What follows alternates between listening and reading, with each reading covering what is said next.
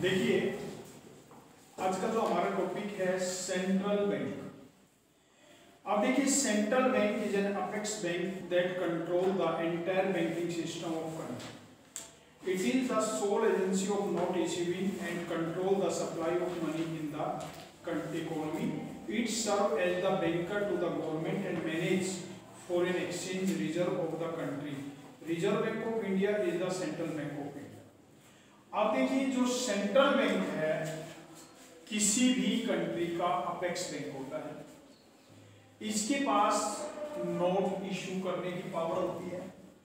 Money की supply control करता है।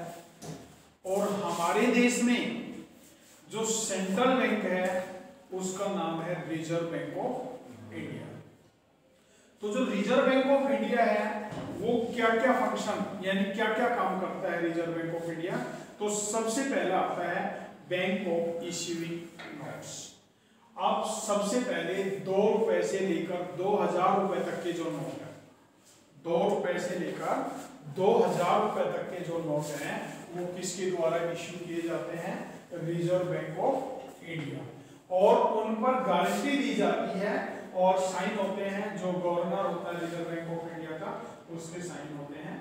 और उसके बाद उसको इशू किया जाता है। तो दो रुपए से दो हज़ार रुपए तक के जो नोट हैं, वो reserve bank of India issue करता है। आपसे पूछा जाए कि जितने भी क्वाइंस हैं और एक रुपए का जो नोट है, कौन इशू करता है? गवर्नमेंट ऑफ़ इंडिया और दो रुपए से दो हज़ार रुपए तक के जो नोट है रिज़र्व बैंक ऑफ़ तो रिज़र्व बैंक ऑफ़ इंडिया के पास बैंक ऑफ़ इश्यू नोट यानी सबसे पहला काम क्या है कि जो नोट इशू किए जाते हैं, वो किसके द्वारा किए जाते हैं? रिज़र्व बैंक ऑफ़ इंडिया यानी central bank of the country दूसरा पॉइंट है बैंकर्स टू द गवर्नमेंट अब देखिए, जो हमारा रिज़र्व बैंक ऑफ़ इंडिया है, ये हमारा गवर्नमेंट का बैंक है. गवर्नमेंट का एक एडवाइजरी बैंक है, यानी गवर्नमेंट को एडवाइस करता है कि किस प्रकार से मनी की सप्लाई को कंट्रोल करना है. किस प्रकार से गवर्नमेंट के अकाउंट को मेंटेन करना है? किस प्रकार से कोई भी जो सिक्योरिटी है गवर्नमेंट के बिहार पर, जो भी सिक्योरिटीज हैं, उनको सेल्स परचेज करना है? किस प्रकार से मनी मार्केट को रेगुलेट करने के लिए पॉलिसी बनानी है? ये सभी काम किसके द्वारा किया जाता है? रिज़र्व बैंक ऑफ़ इंडिया के द्वारा किया जाता है। तीसरा पॉइंट आता है बैंकर्स बैंक अब देखिए बैंकों का बैंक है। अब देखिए हमारे जितने भी कॉमर्शियल बैंक उन सबका हेड जो है, वो कौन है? Reserve bank of India reserve bank of India उनको कंट्रोल करता है। तो as the bankers bank it has almost the same relation with other banks in the country as commercial bank अब हमारे देश में जितने भी कॉमर्शियल बैंक हैं, उन सभी के साथ कि मतलब एक बैंकर्स के रूप में, यानी उनके हेड के रूप में जो है, ये काम करता है। तो central bank accept deposit from the commercial bank and offer them अब कॉमर्शियल बैंक तो कस्टमर से पैसा एक्सेप्ट करते हैं डिपॉजिट के रूप में। और जो रिज़र्व बैंक ऑफ़ इंडिया है, वो किससे एक्सेप्ट करता है? कॉमर्शियल बैंक से। डिपॉजिट के रूप में उनकी मनी को एक्सेप्ट करता है और लोन के रूप में किसी भी कॉमर्शियल बैंक को अगर लोन की रिक्वायरमेंट होती है तो लोन के रूप में उनको वो पैसा प्रोवाइड किया जाता है। इसके बाद आता है central bank clearing house facility provide करता है। अब देखिए क्लियरिंग हाउस फैसिलिटी में क्या आता है? क्लियरिंग हाउस फैसिलिटी में आता है कि आपने कोई चेक दिया। मान लो आपने मेरे को चेक दिया। आपने जो मेरे को चेक दिया, आपका अकाउंट पंजाब नेशनल बैंक में पंजाब नेशनल बैंक का आपने मेरे को चेक इश्यू कर दिया। अब मेरा अकाउंट पंजाब नेशनल बैंक में मेरा अकाउंट जो है, वो यूनियन बैंक ऑफ़ इंडिया में है। तो अब मैं क्या करूँगा कि आपका जो Punjab National Bank of India जो है, उसका जो चेक है, मैं अपना यूनियन बैंक ऑफ़ इंडिया में उसको डिपॉजिट करा दूँगा ठीक है? अब जो यूनियन बैंक वाले क्या है? क्लियरिंग हाउस क्लियरिंग हाउस की जो अथॉरिटी है, वो स्टेट बैंक ऑफ़ इंडिया पर है। क्योंकि रिज़र्व बैंक ऑफ़ इंडिया के बाद जो सेकंड पोजीशन में है वो स्टेट बैंक ऑफ़ इंडिया है। तो स्टेट बैंक ऑफ़ इंडिया को है क्लियरिंग हाउस की फैसिलिटी तो सभी बैंक के पास जिन भी कस्टमर के चेक जमा हुए हैं, वो सभी जो हैं क्लियर होते हैं स्टेट बैंक ऑफ़ इंडिया और क्लियर होने के बाद फिर वो आपके खाते में वो पैसे जमा होते हैं। तो ये फैसिलिटी जो है, किसके द्वारा प्रोवाइड की गई? रिज़र्व बैंक ऑफ़ इंडिया के द्वारा सभी बैंकों को प्रोवाइड की गई कि जिससे कस्टमर को अदरवाइज़ कस्टमर को क्या प्रॉब्लम होगी? अब मेरा अकाउंट पंजाब नेशनल बैंक में नहीं है तो मैंने तो अपना अकाउंट खुलवाना पड़ेगा पहले पंजाब नेशनल बैंक में। तब वो पैसे ले पाऊँगा अदरवाइज़ नहीं ले पाऊँगा। लेकिन ये फैसिलिटी क्लियर करने के लिए क्या किया? किसी भी कॉमर्शियल बैंक में अगर आपका अकाउंट है तो आप वहाँ से इसको कैश करवा सकते हैं। इसके बाद lenders to the last resort lenders to the last resort में क्या आता है कि आपने कॉमर्शियल बैंक में अपने पैसे जमा करवा रखे। और किन्हीं कारणों से वो बैंक आपका फेल हो गया। अब वो बैंक के पास इतनी एबिलिटी नहीं है, इतने पैसे नहीं है कि वो आपकी अमाउंट रिटर्न कर दे। तो lenders to last resort means reserve bank of India आपको पेमेंट करेगा, अंतिम ऋणदाता। रिज़र्व बैंक ऑफ़ इंडिया है कॉमर्शियल बैंक के ब्याह पे। क्यों? क्योंकि कॉमर्शियल बैंक से सीआरआर के रूप में एसएलआर के रूप में इन्होंने कुछ परसेंटेज जो है रिज़र्व बैंक ऑफ़ इंडिया ने अपने पास सिक्योरिटी के रूप में रखी हुई है। तो उसके बदले में कस्टमर की अगर कोई भी बैलेंस से अमाउंट पे करनी है तो लास्टली पे कौन करता है? रिज़र्व बैंक ऑफ़ इंडिया इसके बाद आता है कस्टडियन ऑफ़ फॉरेन एक्सचेंज अब देखिए foreign exchange central bank is the custodian of for nations foreign exchange reserve It also exercise, manage, protect to ensure stability of exchange rate in the international money market अब देखिए इसमें क्या होता है? जो भी हमारी फॉरेन एक्सचेंज फॉरेन करेंसी जो है, उनको अपने पास रिज़र्व रखता है। जब इनकी डिमांड बढ़ती है प्राइसिस में फ्लक्चुएशन आता है तो सप्लाई को उसी के साथ के मतलब एडजस्ट किया जाता है और जो इनकी प्राइसिस में जो फ्लक्चुएशन आए हैं, उन पर कंट्रोल किया जाता है, उनको मैनेज किया जाता है। तो जितनी भी जो भी फॉरेन एक्सचेंज है, उनको फॉरेन एक्सचेंज के कस्टोडियन के रूप में जो रिज़र्व बैंक ऑफ़ इंडिया है, ये वर्क करता है। क्लियरिंग हाउस फ़ंक्शन ये अभी मैं आपको बता चुका। इसके बाद आता है कंट्रोल ऑफ़ क्रेडिट अब देखिए कंट्रोल ऑफ़ क्रेडिट में क्या आता है? कंट्रोल ऑफ़ क्रेडिट में आता है कि principal function of central bank is to control the supply of credit in the economy It implies increase or decrease in the supply of money in the country by regulating the creation of credit by commercial bank. Commercial bank के द्वारा money का creation जो होता है, उनकी supply को increase decrease करके उसकी क्रेडिट को कंट्रोल किया जाता है, जिससे जो क्राइसिस है वो ना आए। और जो हमारी मनी की सप्लाई है, और वो मेंटेन रहे तो ये फ़ंक्शन भी जो है, किसके द्वारा किया जाता है? रिज़र्व बैंक ऑफ़ इंडिया इसके बाद credit of money supply control of money supply का मनी सप्लाई का जो कंट्रोल है, वो किस प्रकार से किया जाता है? अब देखिए मनी सप्लाई का जो कंट्रोल है ना, वो किस प्रकार से होगा? बैंक रेट अब देखिए बैंक रेट क्या होता है बैंक रेट होता है bank reserve bank of India जिस रेट पर, जिस इंटरेस्ट रेट पर कॉमर्शियल बैंक को पैसे उधार देता है, वो बैंक रेट ठीक है? तो उसमें क्या होता है?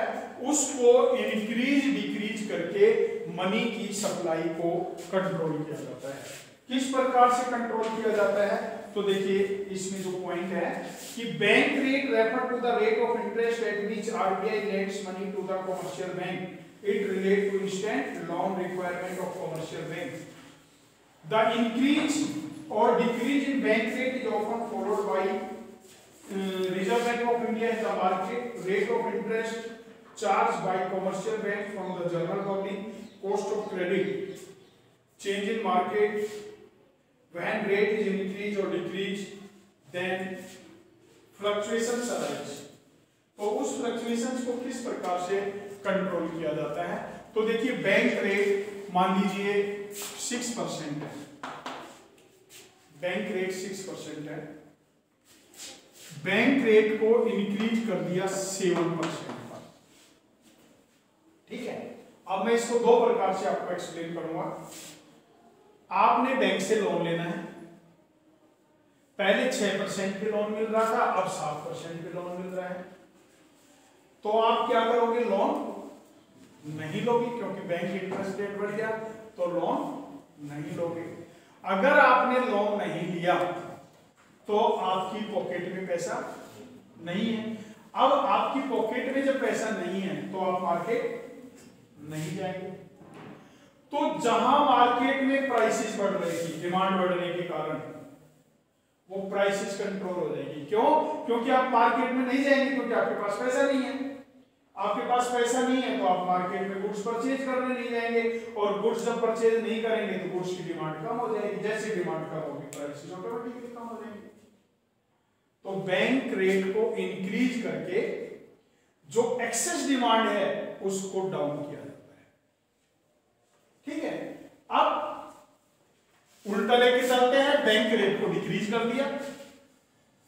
आप पहले सात परसेंट पे पैसे उधार ले रहे थे, अब छह परसेंट पे ले रहे तो जब बैंक रेट इंटरेस्ट हो गया, अगर कम हो गया तो आप ज़्यादा पैसे उधार लेंगे।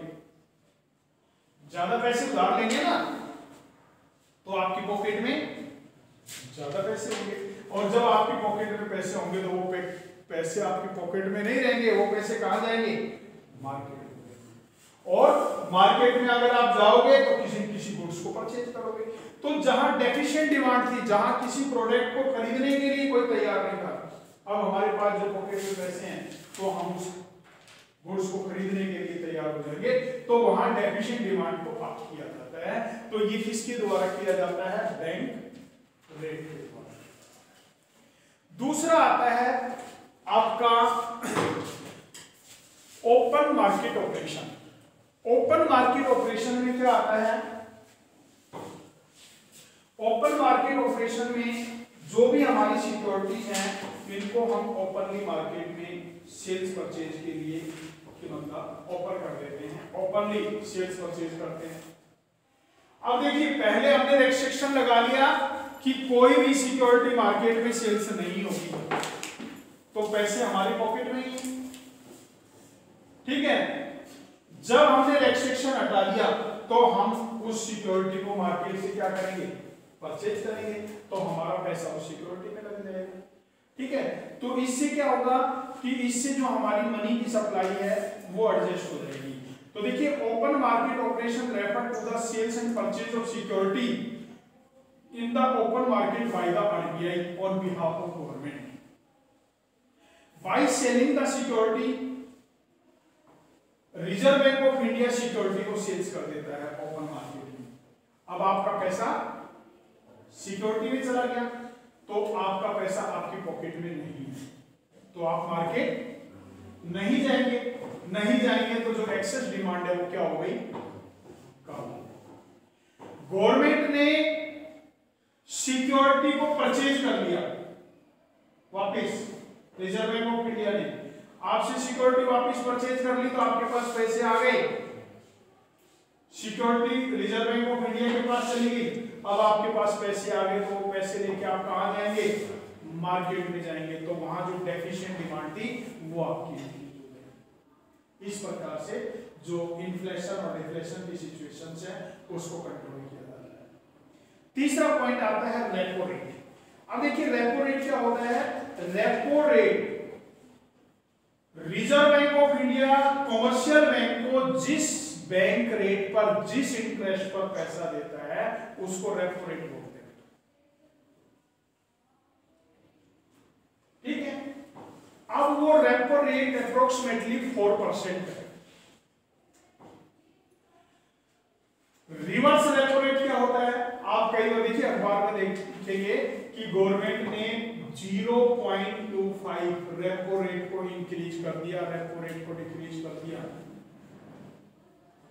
गवर्नमेंट ने 0.05 रिवर्स रेपो रेट को इंक्रीज या डिक्रीज कर दिया। अगर 0.05 या 0.25 भी रेपो रेट इंक्रीज डिक्रीज की जाती है तो उससे हमारा पूरे मार्केट में हलचल आ जाता है। पूरा मार्केट जो है वो फ्लक्चुएट कर जाता है। तो तो सबसे पहले तो आपका मीनिंग हो गया रेपो रेट क्या है? रिवर्स रेपो रेट क्या है? तो रेपो रेट को इंक्रीज करके, देखिए रेपो रेट मान लीजिए चार परसेंट है।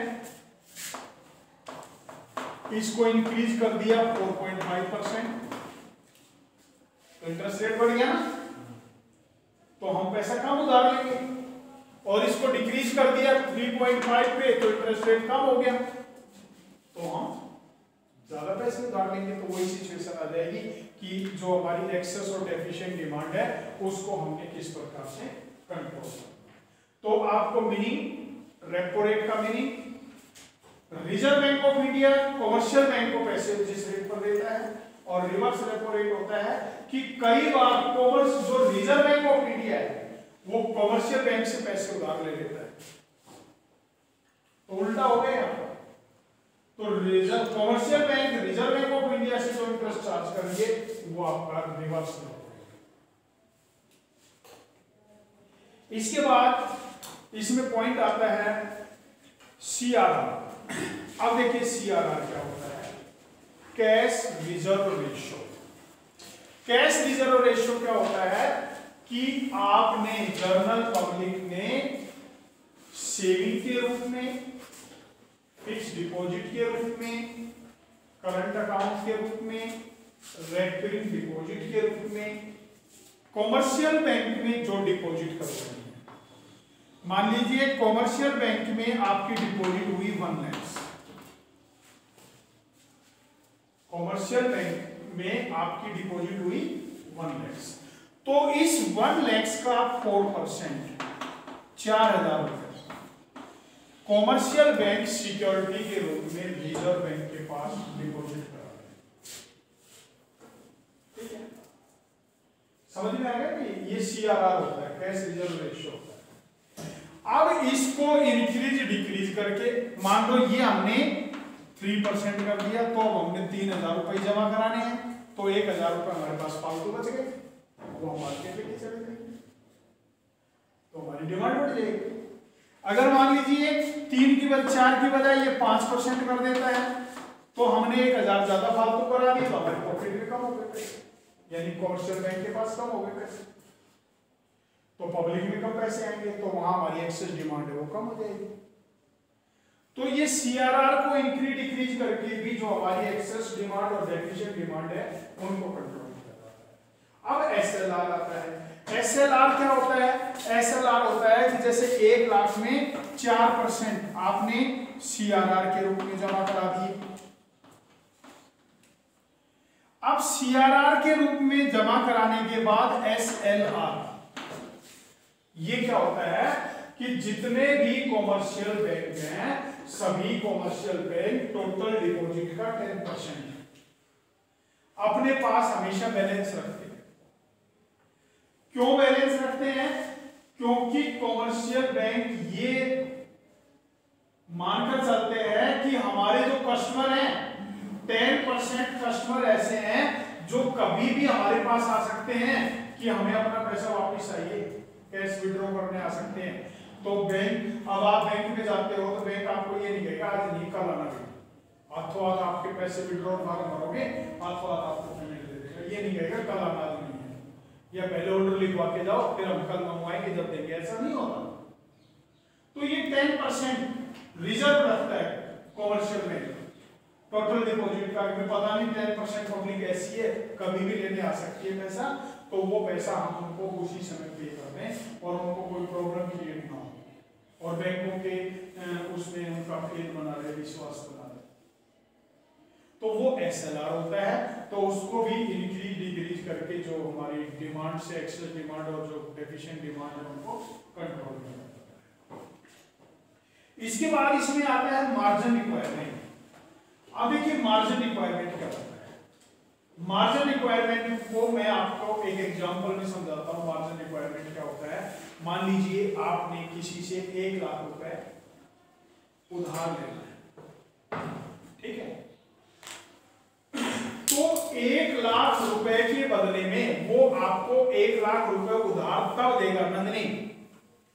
वो आपको एक लाख रुपए उधार तब देगा जब आप उसको अप्रोक्सीमेटली एक लाख पचास हज़ार की सिक्योरिटी रखोगे उसके पास कोई। तब आपको एक लाख रुपए मिलेगा। तो आपको लोन मिला एक लाख रुपए।